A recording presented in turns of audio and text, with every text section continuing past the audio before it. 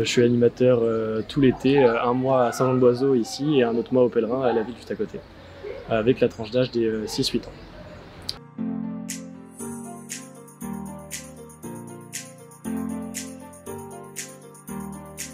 On a décidé de faire une après-midi euh, au château du Puy, puisqu'on est à Saint-Jean-de-Boiseau. Il, il, y a un château qui est juste à côté.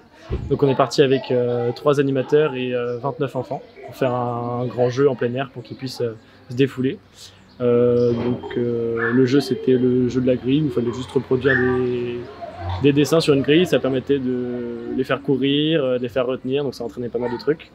Et ensuite on est revenu au centre pour prendre le goûter tous ensemble puisque les parents viennent les chercher juste après.